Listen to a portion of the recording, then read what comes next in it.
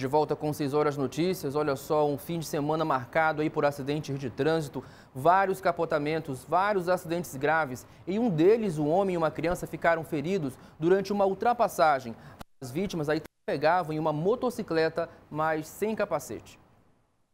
No chão da rua Beija-Flor Vermelho, no Parque Riachuelo, o brinquedo e a sandália do menino, que ficou gravemente ferido no acidente. Neste vídeo, gravado minutos depois da batida, é possível ver as vítimas desacordadas na pista.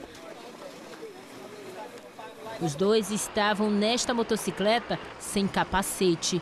Segundo informações de algumas testemunhas que presenciaram o momento do acidente, o motociclista e a criança vinham nesse sentido da rua Beija-Flor Vermelho em alta velocidade e tentou fazer uma ultrapassagem pelo lado esquerdo. Foi quando ele acabou colidindo violentamente com o carro que vinha na direção contrária. Os motoristas dos dois carros, o que se chocou de frente com a motocicleta e o que foi ultrapassado, aguardaram no local até a chegada da perícia e depois foram encaminhados à delegacia para prestar esclarecimentos. A motocicleta da vítima foi encaminhada para o parqueamento do Detran. O homem e a criança foram levados para hospitais da capital em estado grave. Um agente do Manaus Trans esteve no local para ajudar na fluidez do trânsito. A perícia deve apurar as causas do acidente. O caso foi registrado no 20 Distrito Integrado de Polícia. E na tarde de sexta, um outro acidente de trânsito deixou dois policiais militares gravemente feridos na zona sul de Manaus. Eles bateram em uma carreta. O cabo Adriano da Silva e Silva e o tenente Francisco Nascimento da Silva Neto estavam a caminho de uma ocorrência quando o acidente aconteceu. A viatura em que eles estavam colidiu com uma carreta no momento em que saíam de uma rua e pegavam a avenida principal no distrito industrial. A batida foi tão forte que os dois foram arremessados para fora do veículo. O tenente que sofreu o ferimento mais grave foi encaminhado ao Hospital João Lúcio, na Zona Leste, em um helicóptero da Secretaria de Segurança Pública. O outro PM foi atendido por uma equipe do SAMU e levado também para o mesmo hospital. O motorista da carreta teve apenas ferimentos leves.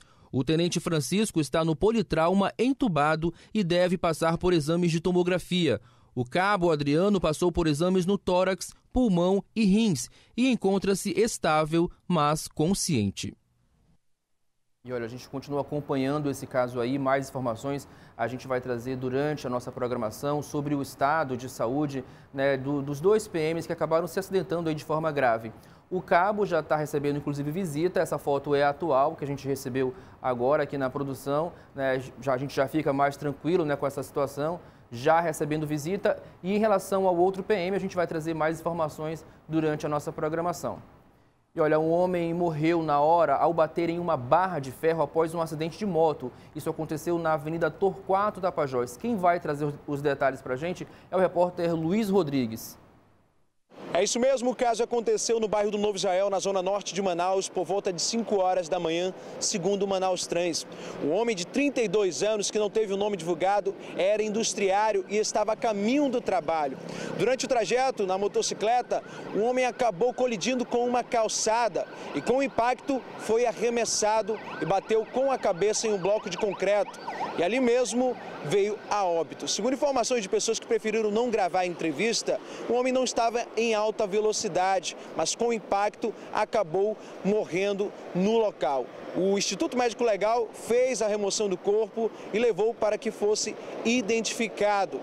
Segundo informações de familiares que preferiram também não gravar entrevistas, esse era o trajeto de todas as manhãs deste homem. Eu volto com você ao estúdio. Obrigado, Luiz Rodrigues. Que triste, né? E olha, no fim de semana é, passado, duas crianças morreram afogadas aqui na capital e a gente mostrou aqui na tela dos 6 horas. A Secretaria de Segurança Pública do Amazonas divulgou que os números de mortes por afogamento chegaram a 42 até o mês de maio. E ontem, mais um caso foi registrado. Uma mulher de 26 anos morreu afogada na praia da Ponta Negra. A Bárbara Mitoso vai trazer os detalhes para a gente. É isso mesmo, Regina Melo, de apenas 26 anos, morreu afogada aqui nessa área particular da Ponta Negra. Ela e os amigos estavam vindo de uma festa, de uma casa de shows na Avenida do Turismo e decidiram terminar a diversão aqui nessa área, na famosa Prainha, na Ponta Negra.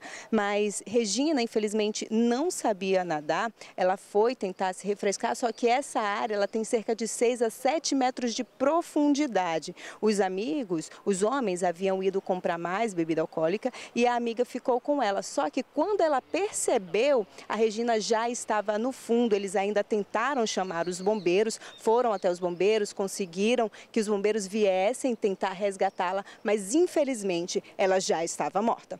Volto com você no estúdio. Meu Deus, né? Que situação. Realmente precisa ficar atento, principalmente quando a gente não sabe nadar. Olha, os corpos de dois homens de aparência peruana foram encontrados na comunidade de Carauari, né? Curari, o nome da comunidade, que fica ali no município do Careiro Castanho, no interior do estado.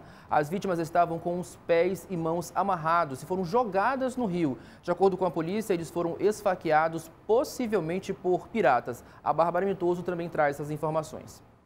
É isso mesmo, o Corpo de Bombeiros foi acionado pela Polícia Civil para resgatar um corpo que estava boiando no rio. Só que quando eles chegaram no local, viram que se tratava de duas pessoas. Esses dois homens estavam boiando na região da comunidade de Curari, no Careiro da Várzea, interior do Amazonas. Eles estavam com os pés e as mãos amarradas em estado avançado de decomposição. A 35ª Delegacia Interativa de Polícia deve investigar o caso. Volto com você no estúdio.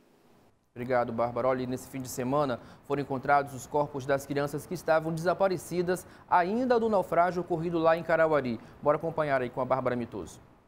Os corpos dos irmãos João e Arthur, que estavam desaparecidos desde o dia 19, após o naufrágio de uma embarcação no rio Juruá, foram encontrados dentro do barco, no refeitório. Só que a porta estava fechada e obstruída por uma carga. Essa informação ela foi confirmada pela Prefeitura de Carauari. O translado dos corpos deve ser feito nesta segunda-feira e assim que chegarem a Manaus, vão ser encaminhados ao Instituto Médico Legal para o reconhecimento familiar. No naufrágio, outras três pessoas, além das crianças, também morreram entre elas a mãe dos dois meninos. A causa do acidente ainda não foi confirmada, mas as investigações continuam. Volto com você no estúdio.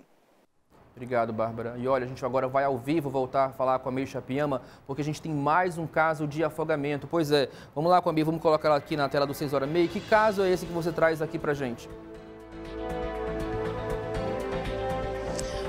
Juliano, uma tristeza. Uma criança de apenas dois anos de idade foi encontrada morta e afogada ali no município do Cacau Pereira na tarde deste domingo, ali na Rua 12. Uma equipe do Corpo de Bombeiros foi acionada por volta de 5 horas da tarde para atender essa ocorrência, mas quando os bombeiros chegaram no local, eles já encontraram a criança desacordada e cianótica, que é quando a pessoa já está com a pele acidentada, principalmente ali na área dos olhos, da boca e das unhas. A área em que a menina foi foi encontrada é aquela, é aquela área que foi atingida pela cheia deste ano. A gente deseja os nossos sentimentos à família e pede para os pais terem mais cuidados com as crianças, principalmente nessas áreas de rio, piscina, igarapé, porque a gente sabe que qualquer descuido com criança pode ser fatal.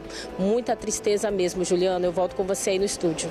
Obrigado, Misha Piama. Com certeza, né? Muito triste essa situação. Inclusive, na semana passada, a gente mostrou aqui na tela dos 6 horas, uma criança também de dois anos que acabou se afogando lá na Ponta Negra por um descuido aí da família. Então, realmente, as crianças precisam da nossa atenção. Né? Como eu sempre falo, água não tem cabelo, precisa de atenção redobrada quando a gente leva a criança para a piscina, né, para a água, porque é bem complicada essa situação.